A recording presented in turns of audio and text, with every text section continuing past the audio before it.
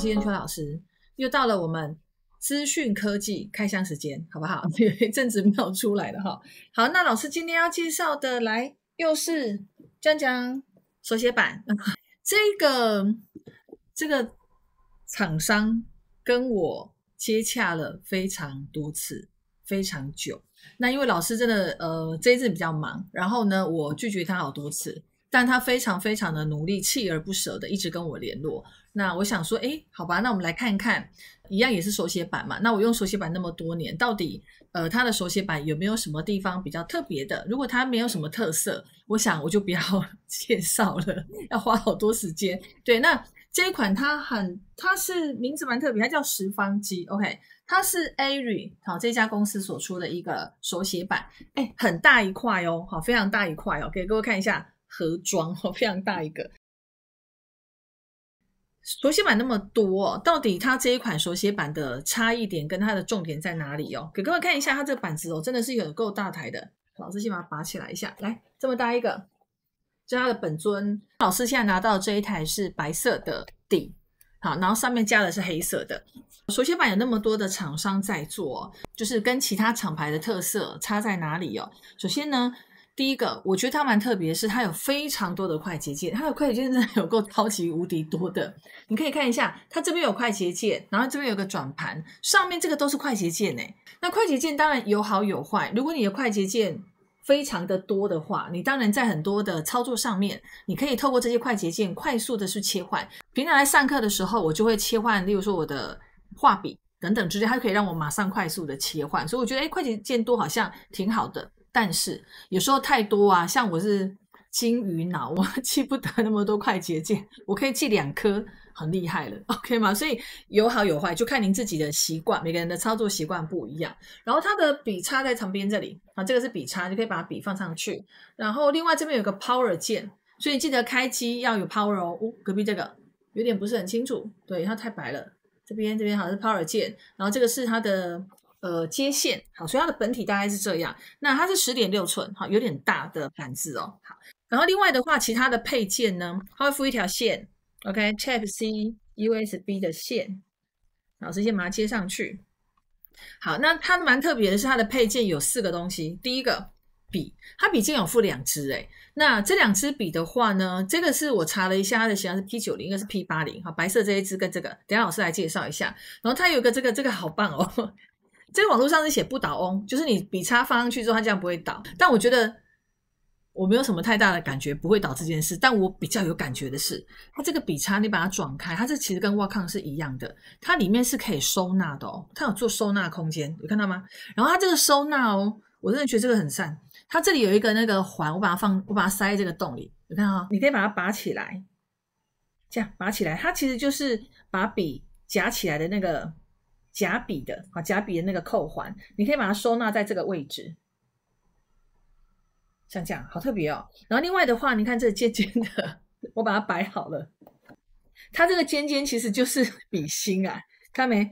我很辛苦的一个一个把它摆上去哦，笔芯，所以它看起来就这样一根一根的这样，它就可以收纳在里头。我真的觉得这个超赞的，因为它可以收纳啊。我们平常啊在使用的时候，我就不用怕笔掉了。早期呀，他们以前。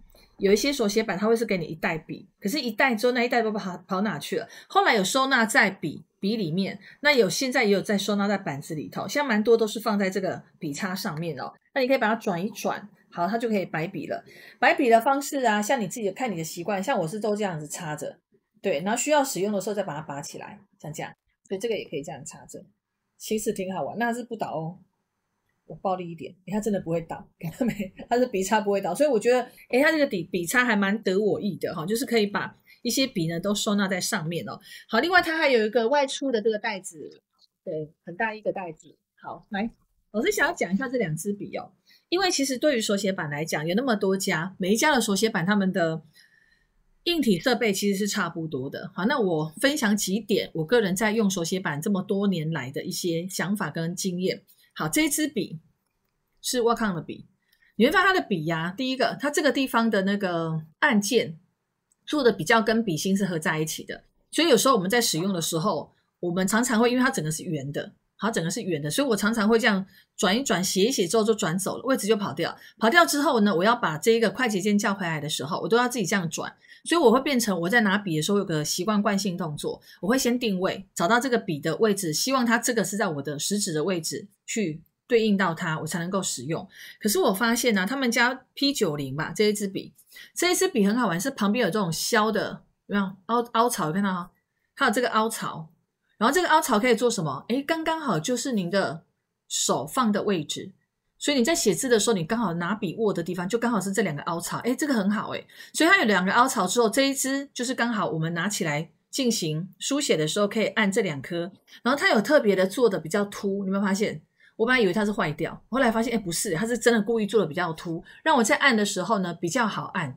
它在手感上面是比较好按的，了解老师意思吗？就我很喜欢它这一支笔。然后另外呢，因为笔呀握久了其实是会手指会痛哈，所以它这里是做软软的，比较软一点。这个有个软垫，像我这一支笔呀，它这里有一点点软垫。但是它没有很明显，然后像挖抗其他的比较小牌子的，它这个就完全没有软垫，所以你用久了其实手是会痛。它这边有做了一个软垫，但软垫最清楚是这一支白色的 P 八零这支笔，它软垫就很像有没有小时候那学习笔的那个软垫，可是我。没有很喜欢它，好啦，对不起，因为这一支笔它是整个是圆滑型的，所以就是会产生跟挖抗笔一样的问题。我写一写它就会滑走，滑走之后呢，我要再把它定位回来才能够按它，而且它这里做的就比较合身，它比较合，好，所以它就没有凸起的感觉。或许有些人会觉得这样好，比较好按，可是我。觉得不方便，我每次在按的时候，我都要滑滑转圈圈去找我的定位。那后来我现在用的这一支笔之后，我发现，哎，它这样的设计呀，会让我在书写的时候拿的时候，刚好是握在这两个洞的地方。然后呢，这个笔这样子按，其实在画的过程里，你会更容易去找到你的快捷键的位置，还有你要做定位也会非常的清楚。所以他们家的笔比较特别是在这个地方。然后它这边一样有橡皮擦，看软体哦，有些软体可以支援橡皮擦，有些没有。好，所以这是它的。笔比较特别的地方，然后另外呢，它的板子啊，老师刚刚有说它有很多快捷键，但是它的快捷键多，就变成你要到软体里头去设定，有好有坏嘛。有些人会觉得哇，快捷键好好，我把删除啦、复原啦 什么的都把它设好。可是就是我说我是金鱼脑，我都记不太得那么多东西，所以我可能就只会设一到两个。那你在使用上，你就可以边书写的时候，这边可以去按快捷键。但我觉得啊。它快捷键做的不错，在左侧，而且是有一种那种，就是你这样按上去的时候，你会很明显看到这个是磨砂的，然后这个地方是亮亮的光滑面，所以它光滑面你按的时候会很好按。可是问题来喽，按呢，如果你画图的时候是非常方便，只是会一直嘎嘎嘎，一直嘎嘎嘎，那个声音挺大声的哈。好，然后再第二个，它的板子啊，中间这个位置具有摩擦感的意思是，你在画的时候，你会觉得它好像在纸上画画一样，有没有？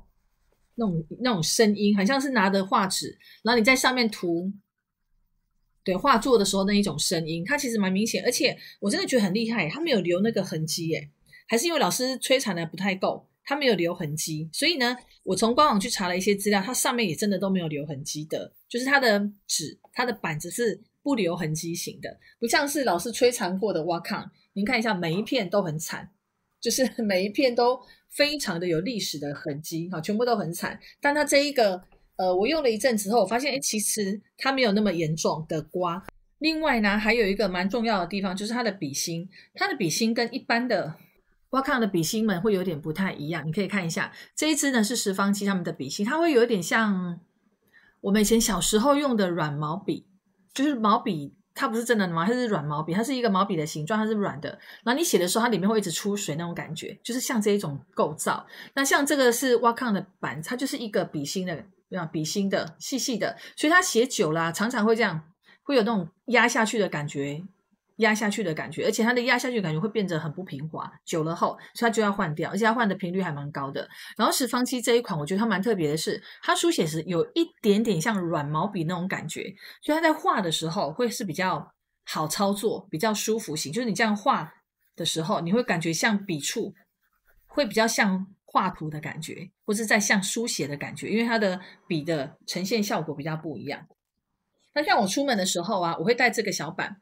其实这个小板它有缺点，它的缺点就是你写的时候的空间比较小，所以我在上课的时候啊，变成它空间很小。我常常写一写会这样，你知道吗？就是位置会桥位置会跑掉。所以呢，我在办公室其实我还是用比较大的板子，因为我觉得小小的在办公室用其实很吃力。那这一个十方机它其实又更大。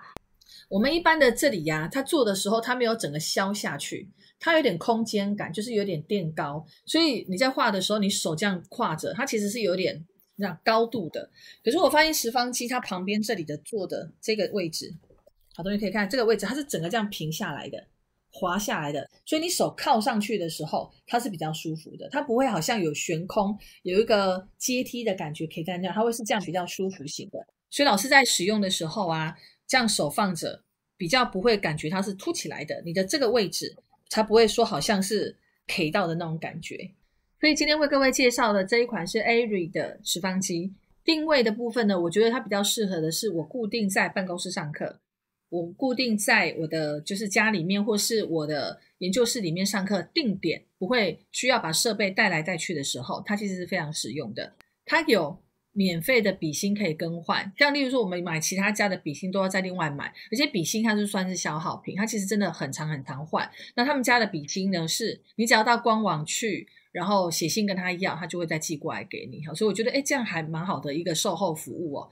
所以，如果您最近正在寻找可以固定定点使用的一个绘图板，并且呢，在价格的区间上面，希望可以是 CP 值高一点的话，我觉得十方机这一款机器还蛮适合学生族群，或者是说呢，刚入手想要玩看看手写板的一个。同学们，那当然也不是说进阶者不能用，因为它的感压有支援到八一九二，其实算蛮高的。就我自己拿它来简单的用一些电绘，好，然后呢拿来做课程的书写白板都非常的好用。所以呢，不同的板子会有不同的需求，再多看看外观、功能、特性上面哪一个是比较适合你的。好，那我们今天的课程到这边结束喽，谢谢各位。